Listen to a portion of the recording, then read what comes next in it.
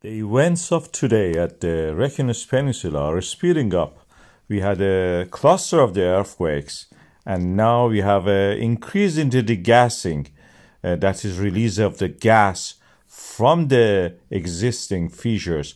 This was the earlier today, and then in the evening time we had a sudden increase in the amount of the gases rising from this area, as you can see here, and. Uh, uh, this is the K1 to the right, and almost near to the center is the area that we had the previous eruptions um, in the May to June uh, volcanic activity in this uh, area in the Svartsengi volcanic system.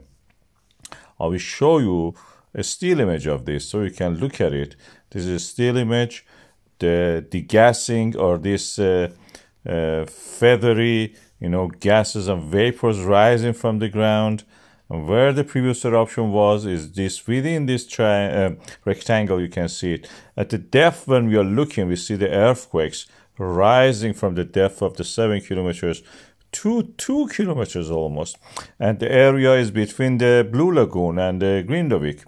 Blue Lagoon is the famous spot and Grindavik is the town which has been, you know, evacuated uh, during this upheaval of the volcanic activity. The depth that we have now is two kilometers, so this shows the earthquakes are rising in that uh, area and opening the way for the magma.